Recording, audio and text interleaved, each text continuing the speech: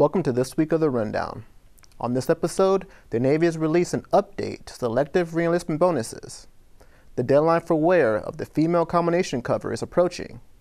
We celebrate Hispanic Heritage Month, and the Navy is seeking applications for the Command Master Chief and Command Senior Chief Selection Board. The Navy has released an update to SRB award plans for active duty and full-time support sailors.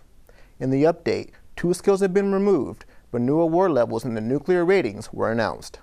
For the complete list of skills and award level changes, read NAVADMIN 212-16. Changes to the SRB for eligible sailors will take effect 30 days after the release of the NAVADMIN. Sailors are encouraged to talk with their command career counselors and chain of command to discuss reenlistment options at least 35 days prior to the EAOS. Read more on the change from our story on Navy.mil, which also provides links to the SRB homepage on the NPC website. The deadline to change over from the female combination cover to either the combination cover or alternate combination cover is approaching.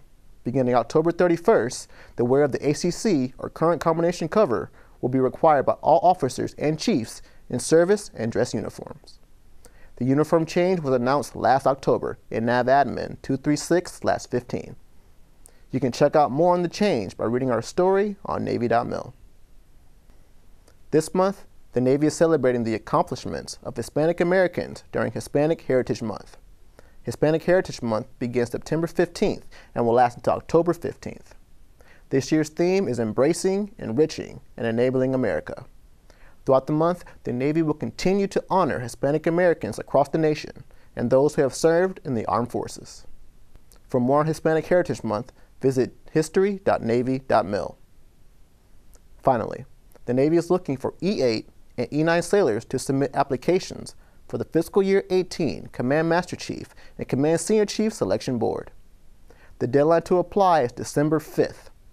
You can read all the requirements for eligibility in NAVADMIN 210-16. Well, that's all for this week. For any questions, send us a message at usnpeople at gmail.com. For the Chief of Naval Personnel, I'm MC2 LJ Burleson. Thanks for watching.